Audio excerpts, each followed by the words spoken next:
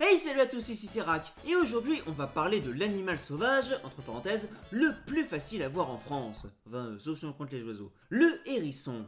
Le hérisson est donc un petit animal connu pour ses pics et qui possède aujourd'hui sa propre mascotte connue à l'international. Sonic. Pourtant, pendant longtemps, celui-ci a connu une image à connotation négative au sein des populations et des cultures, notamment européennes. Alors, comment le hérisson s'est-il hérissé au rang des personnages et donc des animaux les plus célèbres de notre culture actuelle? Eh bien, c'est ce que nous allons voir ensemble aujourd'hui, en voyant son histoire au travers des différentes cultures et époques, ainsi que sa place dans celle-ci, ce depuis l'Égypte antique à aujourd'hui.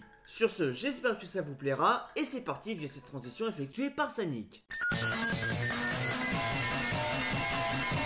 Dans la culture égyptienne, le hérisson possède une image qui est associée à celle de la protection. Ceci sûrement dû à ses pics, le protégeant lui-même. Au vu des représentations de l'animal dans diverses tombes, on pense ainsi que les croyances de l'époque voulaient que celui-ci protège les morts. Des dieux égyptiens étant d'ailleurs même associés au hérisson, comme par exemple Abasset, la déesse du soleil. Outre les tombeaux, certaines de ces représentations montraient aussi des personnages jouant à des jeux de société et des enfants jouant avec divers jeux. L'un d'eux justement était un petit hérisson de bois monté sur roue. Et, fait ainsi incroyable, un de ces jouets fut découvert dans la ville persane de Suse. Un objet incroyablement bien conservé au passage et que vous pouvez retrouver au musée du Louvre. Bref, tout ça pour dire que le hérisson était un petit peu un animal de la vie courante à l'époque. Bref, par la suite, dans l'Antiquité, à l'époque romaine, le hérisson n'est cette fois-ci pas relégué au rang de dieu, mais devient en revanche un animal utilisé pour divers remèdes médicaux, tant charlatan que reconnu et devient aussi un mets recherché pour ses vertus. Les écrits de Pline l'Ancien nous en apprennent d'ailleurs beaucoup sur le sujet. On pensait ainsi que le hérisson servait à combattre le stress, à guérir de diverses maladies et aidait même à s'épiler. J'en cite un exemple courant de l'époque rapporté par Pline justement,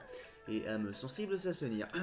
Le fiel de hérisson est dépilatoire, mais il faut y mêler de la cervelle de chauve-souris et du lait de chèvre. La cendre de hérisson, sans rien d'autre, a la même vertu. Frotter avec du lait de chêne à sa première portée les endroits où l'on veut empêcher le poil de venir. Arracher préalablement les poils dans le cas où il y en a déjà. Par ce moyen, il n'en poussera pas. Le même effet est produit, dit-on, par le sang d'une tique prise à un chien, par le sang ou le fiel d'une hirondelle. Voilà. Et là, on comprend que l'espérance de vie devait être légèrement plus courte. Bref, ça ne va donc pas très fort pour le hérisson. Et malheureusement pour lui, les choses ne font qu'empirer par la suite au Moyen-Âge. Celui-ci devenant relégué au rang d'animal des ténèbres, car vivant la nuit, associé forcément donc au mal et au diable. On peut ainsi lire, par exemple, dans le bestiaire de Leclerc de Normandie, daté de 1210, je cite, Bon chrétien, prends garde au hérisson, au traître perfide et cruel, au diable qui constamment cherche à te tromper, comme le fait le hérisson avec les fruits de la vigne. Ambiance de folie, bref, une lecture similaire à bien d'autres que l'on pouvait trouver sur la bestiole à la même époque. Mis à part ceci, le hérisson est sinon toujours utilisé à diverses fins, toutes plus insolites les unes que les autres, enfin euh, sauf pour lui. Ce au niveau de la médecine, du culinaire et même pour la création de manteaux. Et est en plus de tout ceci, victime de diverses superstitions. Superstitions qui s'amplifient avec le temps, dont une qui fait qu'il serait responsable de faire avorter les femmes si elles en touchaient un, ou même rien que si elles en apercevaient un de loin. Et oui, ça allait loin, c'est le cas de le dire. On prête aussi au hérisson, en plus de tout cela, un tas de vices, dont un qui serait celui d'avoir un caractère d'avarice. Ce dû au fait qu'il prend de la nourriture et qu'il va l'entasser en la cachant pour sa progéniture. Ironiquement, c'est aussi pour cette même raison qu'il devient un symbole de richesse en Extrême-Orient. Néanmoins, heureusement pour lui, le hérisson est aussi vu comme un animal résistant et dur de par ses épines, et est ainsi peu à peu introduit dans les diverses armoiries des familles nobles ainsi que des villes devenant un symbole de force et de résistance. Bien que cela reste plutôt faible, les aigles et les lions étant les animaux favoris. Un autre point qui participe à une vision plus positive de son image est aussi son utilisation qui est faite dans les fables et les contes. Bon alors ça prend bien plusieurs siècles, mais l'impact se fait tout de même ressentir. Par exemple, une fable de La Fontaine, le renard, la mouche et le hérisson, montre ainsi un hérisson venant en aide au renard, lui donnant ainsi un caractère altruiste et serviable, en opposition avec sa représentation dans l'imaginaire collectif alors en vigueur. Mais ce n'est là qu'un exemple parmi d'autres du même type, qui montre le hérisson tour à tour humble ou intelligent. Bref, tout ceci fait ainsi son travail durant les siècles et trouve finalement son apothéose en 1865, avec un conte pour enfants qui va avoir un succès retentissant et qui va marquer les esprits à ce niveau-là, Alice au pays des merveilles.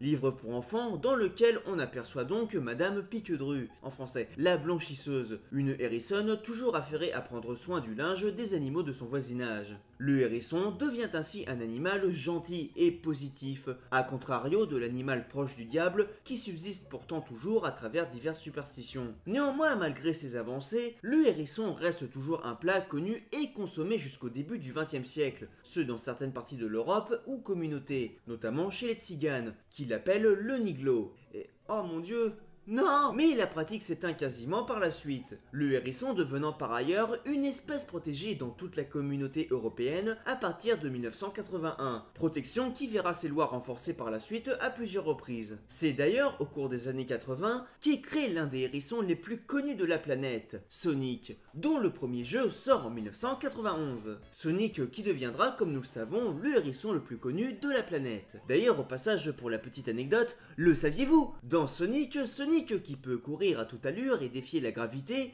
ne peut néanmoins pas nager. Cela est dû en fait au fait qu'à l'époque, Yuji Naka, l'un de ses créateurs, pensait que les hérissons étaient incapables de le faire. Mais fait intéressant, c'est que les hérissons savent en réalité très bien nager c'est fait. Bref, le hérisson gagne ainsi une image de plus en plus populaire et sympathique parmi le public, souvent associé à l'écologie et à la nature. Et il servira ainsi à divers logos et publicités, comme par exemple pour des tondeuses à gazon ou encore pour des éponges grattantes. Son image piquante étant ici utilisée pour un effet cute et humoristique. D'ailleurs au passage j'avais essayé de faire sponsoriser cette vidéo par Spontex, mais ils ont jamais répondu. Ainsi le hérisson, victime de superstitions, plaques uvinées, images négatives et préjugés durant plusieurs siècles, aura tout de même regagné peu à peu une image positive, pour devenir finalement, après plusieurs siècles de changements progressifs dans les cultures et mentalités, l'un des symboles emblématiques de la nature, sympathique et voisine, symbole d'une nature retrouvée, si l'on peut dire. Et bon, sauf que maintenant il est plus mangé par l'homme, mais il est écrasé par les voitures et défoncé par les pesticides. Donc, en conclusion, le hérisson est une victime. Voilà. Mais on a Sonic et des éponges. Ouais, conclusion joyeuse. Sur ce, merci à tous d'avoir regardé cette vidéo. Si ça vous a plu, n'hésitez pas à me rejoindre et à me soutenir sur les divers réseaux sociaux. Ça fera, comme vous le savez, très plaisir à mon ego. Et sur ce, je vous dis à bientôt pour une prochaine vidéo.